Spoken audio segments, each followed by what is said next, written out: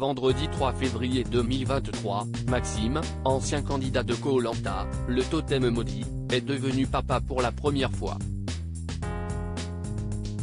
Il a annoncé la bonne nouvelle ce mercredi 8 février sur son compte Instagram et a dévoilé le prénom original du nouveau-né. Plus que quelques jours d'ATNT pour les téléspectateurs de Koh-Lanta. Après de longs mois d'absence, l'émission emblématique de TF1 fait son grand retour sur vos écrans le mardi 21 février, à partir de 21h10.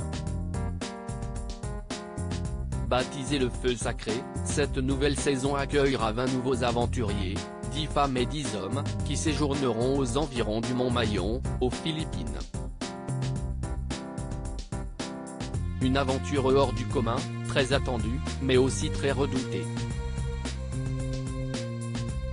Pour cette 24e édition, un pouvoir immense fera son entrée en jeu, symbolisé par le talisman en pierre de lave et mis en place dès les premières heures de l'aventure.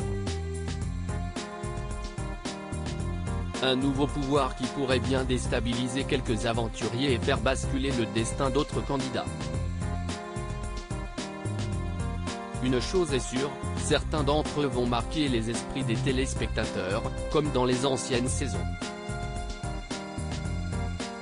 Souvenez-vous de Freddy, Claude Dartois, Sam le Guerrier, Théa Youra, Inès Lucif, Bertrand Kamal, ou encore Maxime, le gérant de portefeuille de la dernière saison.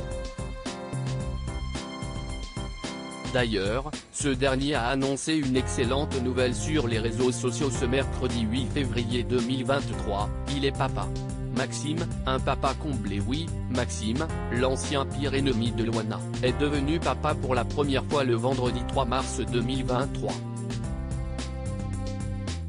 En couple et fou amoureux, le jeune homme s'est d'ailleurs marié au mois de novembre dernier, pour son plus grand bonheur. Et quelques mois plus tard, le couple accueille son premier enfant. Sur son compte Instagram, Maxime a posté un adorable cliché, tout sourire, avec son bébé dans les bras, mais aussi une photographie de sa chair et tendre. Il écrit en légende de cette publication, Nous étions deux, nous voilà trois. De toi, j'apprends doucement à devenir papa. Bienvenue parmi nous Mahalo, a-t-il ajouté.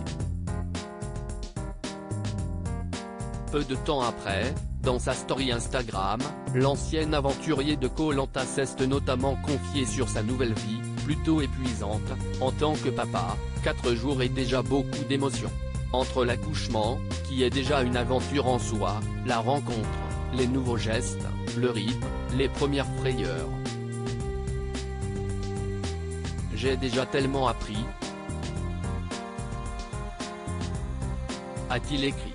Bien évidemment, et il fallait s'y attendre, de nombreux candidats du programme de TF1 se sont empressés de féliciter le nouveau papa.